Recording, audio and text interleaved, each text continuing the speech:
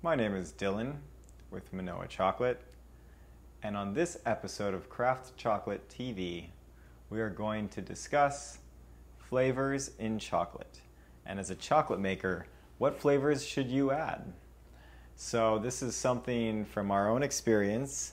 We've benefited a lot by adding ingredients or what we'd call inclusions that are very Hawaiian. And so, over the last couple years, going to different chocolate shows, what we've noticed the companies that do the best are the ones being authentic to their origin. So, if that's in Thailand, you're making different Thai flavored chocolate bars. If you're in uh, like Omnom in Iceland, you're doing licorice, or let's say in Sweden, that's their thing. If you're in Hawaii, you're doing things like lilikoi and pineapple and guava and mango. And so, what we found is this is what carries our business to allow us to continue to do what we do.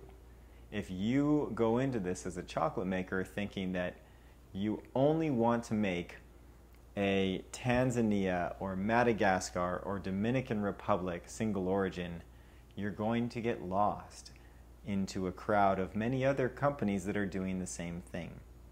People want you to be that state or that country, showcasing what is authentically you. And if you're in Colorado doing a Dominican Republic cacao bar, it's not that authentic. As cool as it is for the chocolate maker and the story, what most customers are going to purchase is the flavor that, um, in our case, is lilikoi, which is our passion fruit bar, our Hawaiian sea salt bar. And so once we understood this after many years of trying to do single origins, our business grew and we have been more successful. And we can still continue to do our Hawaiian single origins. We've got six different single origins from Hawaii, and we love making them.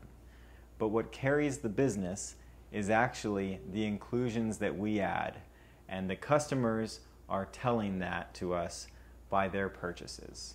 And so we don't want to ignore that because we still like making chocolate regardless of it being a Mililani 70% single origin or a Hawaiian sea salt bar. So this is my two cents. Do you, whatever country you're in, be authentic, use your flavors and spices, have fun with it. See you next time. Aloha.